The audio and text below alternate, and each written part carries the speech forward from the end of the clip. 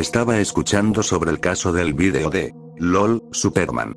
El supuesto video perdido de personas cayendo, que fue grabado desde un ángulo muy cercano, en el incidente del 9-11. No me extengo más, pues hay muchos vídeos muy buenos dedicados al tema, y ese tema no nos compete el día de hoy. Luego de haber escuchado la historia y todo lo demás, me hizo recordarme de que, en el año 2016 aproximadamente, se podía encontrar material muy crudo en YouTube, solo era de saberlo buscar. Entonces me dio curiosidad iniciar una búsqueda en YouTube, para ver cuáles eran los materiales más extraños y oscuros que me podría encontrar. Los resultados fueron más de lo que esperaba. En la web se encuentran centenares de vídeos provenientes de los grupos de crimen organizado.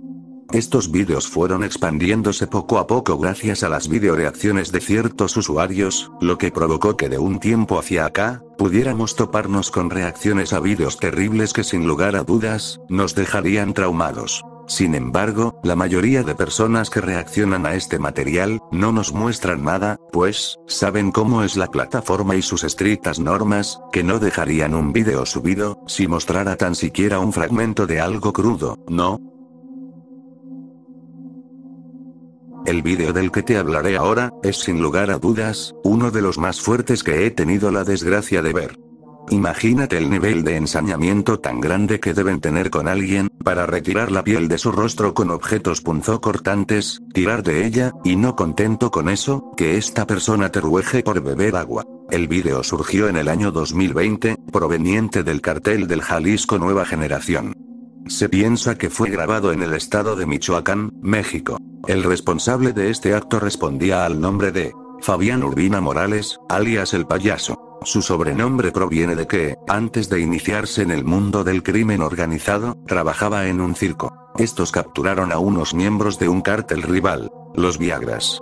En el vídeo se ve a un hombre que está siendo sujetado, el sujeto ya no tiene rostro.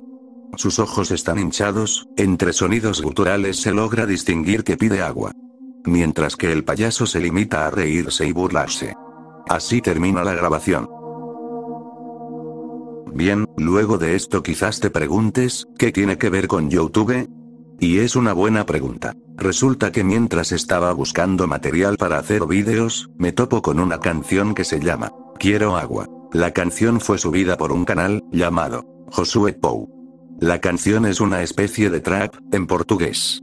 Sin embargo, lo que llama la atención de mí, y no solo mía, sino que de al menos 200.000 personas, es el hecho de que la miniatura, y asimismo, la única imagen de todo el vídeo, es la cara al rojo vivo del hombre que ya no tiene rostro. Incluyendo la marca de agua de un sitio donde se podía encontrar el video original. Yo vi esto de noche, y la verdad ya tenía sueño, así que dije que lo examinaría con detenimiento al día siguiente. Entonces, busqué. Quiero agua.